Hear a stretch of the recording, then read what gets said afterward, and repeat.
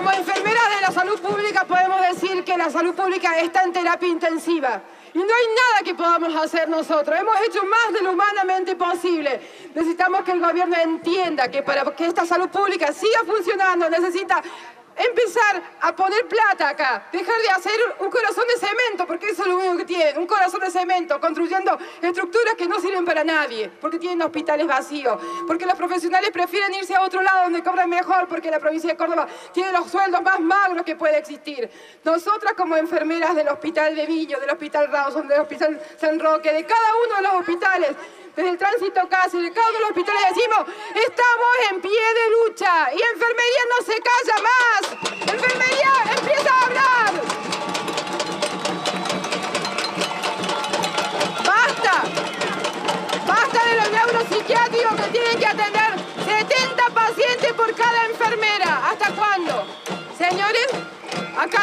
Los miembros de esta sociedad le decimos, hacemos lo humanamente posible. Cuando haya un error, no es nuestro, es del gobierno. Tenemos sueldo de 2.600 pesos. Personas que han estudiado, han invertido su tiempo, tiempo de su familia, han invertido dinero. No podemos seguir cobrando eso, pero seguimos trabajando, seguimos dando lo mejor por cada uno de nuestros pacientes y ellos lo saben. Entonces al gobierno le decimos que de una vez por todas trabaje, que haga las cosas por las cuales todos los han votado. Queremos que empiece a poner plata en salud, porque la salud es invertir en gente que va a desarrollarse y va a ser los buenos gobernantes que necesitamos nosotros. Entonces, chicos, seguimos en pie de lucha hasta que el gobierno empiece a escucharnos.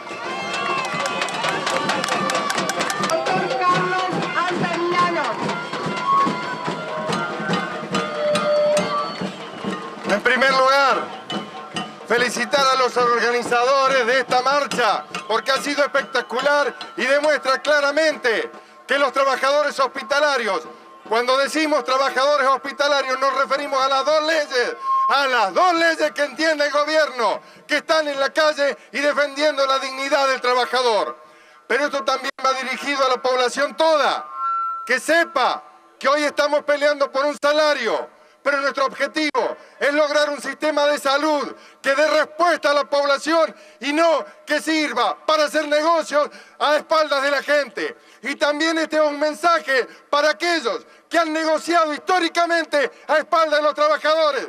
Que este movimiento no se mueve en tanto y en cuanto los trabajadores de salud no estén sentados en la mesa de negociación, carajo.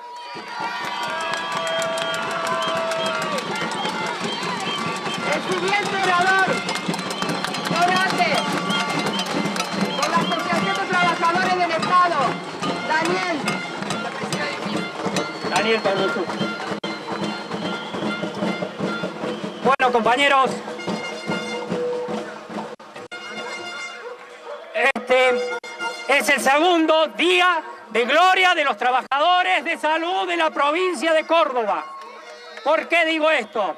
Porque la marcha del 18 fue multitudinaria, porque ahora estamos unidos los cuatro sectores que creemos que el sartén lo tenemos los trabajadores y estamos hartos de que nos conduzcan a lugares donde nunca tuvimos buenos resultados. ¿Por qué decimos esto? El salario de un trabajador no puede estar por abajo de la canasta básica. Tenemos que tener esa categoría inicial igual a la canasta básica que ronda los 6 mil pesos. Todos acá sabemos bien cuál es nuestro reclamo. Tenemos claro nuestros objetivos, tanto como ATE, UTS, Interhospitalaria y Enfermeras Unidas. Estamos luchando en conjunto por un, un sueldo digno. A partir de ahora vamos a seguir coordinando porque el compromiso es con los trabajadores y con ninguna asociación a la vez. Estamos unidos en la lucha y debemos seguir.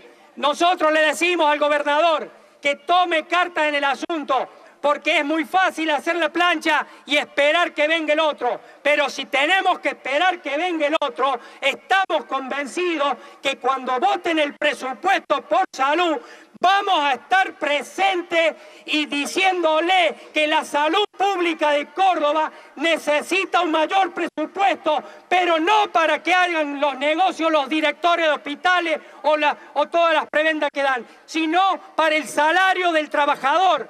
No para los negociados. Vamos a pedir un presupuesto, pero que contemple el salario del trabajador. Eh, entonces, que aparte de eso, ¿no es cierto? Sabemos muy bien que históricamente hemos sido entregados. No vamos a permitir que esta lucha la comanden los que siempre nos entregaron las peleas, porque es... Eh, es así, compañeros. Debemos iniciar la lucha y debemos estar preparados a, ¿a a tener largo aliento, no desgastándonos, proponiéndonos asamblea, repartición por repartición, cronograma. Tenemos un montón de metodologías que debemos unificar y que debemos aceptar.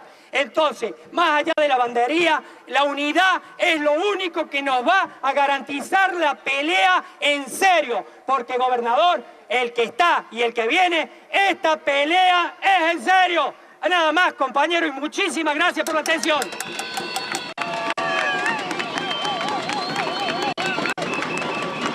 Compañero, la última oradora, en nombre, en nombre de la Asamblea Interhospitalaria, en la cual todos participamos, va a hablar la compañera Virginia del Hospital de Niños. Compañeras y compañeros, a esta marcha grande, amplia, que ha convocado a todos los sectores, la hemos trabajado todos a la par, porque los trabajadores de la salud hemos dejado de ser objetos para ser sujetos. Hemos decidido entre todos qué salario, cuánto vale nuestro trabajo. Y también hoy, en cada asamblea de cada hospital, Estamos discutiendo y deliberando qué salud queremos como trabajadores, como pacientes y como sujetos de derechos, compañeros. Voy a leer una, la, este, el. Voy a leer el documento que escribió una compañera interhospitalaria porque nos expresa a todos, todo lo que decimos todos los días en cada asamblea. La salud es un derecho básico e indispensable para el desarrollo de cada individuo en la sociedad.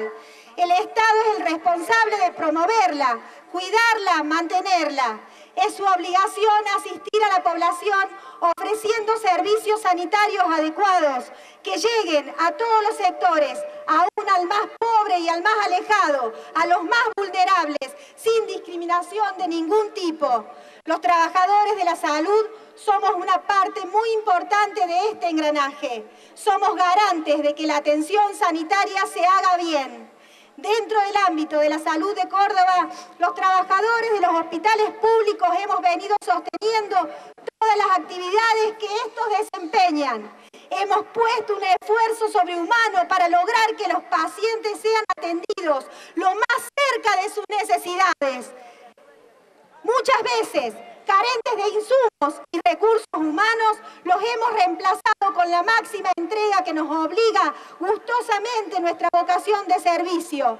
Venimos luchando desde que tenemos memoria, desde que cada uno ingresó a esta tarea y venimos luchando incansablemente sin parar, porque nunca, jamás gobierno alguno nos ha tratado como lo que somos, personas que tenemos dignidad que necesitamos también un salario para vivir y mantener a nuestra familia. Cada peso que hemos ido logrando en nuestro salario jamás salió de un aumento concedido por el gobierno, ni siquiera en las épocas de mayor inflación. Cada logro ha sido producto de una gran lucha. Luchas eternas como levantarse o acostarse cada mañana según el turno que nos, nos toque trabajar como tener que llegar o volver a nuestro trabajo y encontrarnos con un ómnibus que nunca pasará. Llegar al puesto de trabajo y enterarse que hoy estás solo porque tu compañero está cubriendo otra área por falta de personal. Encontrarte que no hay sábanas para cambiar los pacientes. Encontrarte que no hay ambulancia y el enfermo preparado perderá el turno. Hospitales que se llueven, otros nuevos pero que están vacíos pacientes haciendo largas colas por obtener un turno, un medicamento, una respuesta. Hoy cada uno de nosotros hará memoria de muchas de estas situaciones vividas. Hoy nuevamente estamos luchando por un salario digno que iguale a la canasta familiar, que es algo así como 6 mil pesos. Hoy queremos ese salario de básico para la categoría inicial. Basta de remiendos con adicionales y sumas por única vez. Basta de precarización laboral. Exigimos que los 6 mil pesos estén en el básico y no vamos a bajar los brazos. Ya nos han traicionado muchas veces dirigentes sindicales que levantaban las medidas de fuerza sin consultar. Hoy estamos organizados con el método de la Asamblea General Democrática, con mandato de los distintos hospitales. Hoy se vota y se hace lo que se decide por mayoría. Esto es un logro de todos nosotros y no vamos a claudicar. Y si el gobierno dice no tener un interlocutor válido, acá estamos los representantes de esta interhospitalaria. Acá estamos los delegados elegidos y a quienes no podrá comprar. Acá estamos todos los que sostenemos la salud de Córdoba, llamando a la unidad con todos los sectores que defienden la salud pública, gratuita y de calidad. Ha quedado demostrado que el gobierno no le importa la salud pública. Ni el que se va ni el que viene hace algo por solucionar esta crisis. Electorales, pero lo que va adentro, los pacientes y los trabajadores no cuentan para ellos. Hoy los trabajadores de la salud estamos luchando por un salario básico igual a la canasta familiar y le pedimos el apoyo a quienes sí creemos se preocupan por nosotros, a nuestros pacientes, estudiantes y al pueblo de Córdoba. Juntos exijamos al gobierno que solucione esta crisis que excede lo provincial. La salud de Córdoba está destruida en el ámbito municipal y provincial, en la capital y en el interior. Todos los trabajadores de la salud somos necesarios para que la salud funcione, desde el que lleva la camilla al que, al que opera un corazón.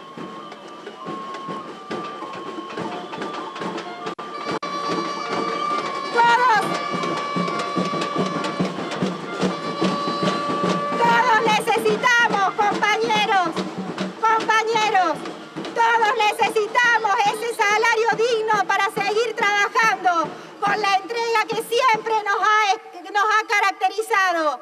Eschiaretti, González de la Sota, háganse cargo de la provincia que han gobernado y gobiernan y pretenden seguir gobernando. Adelante compañeros, a luchar, a luchar.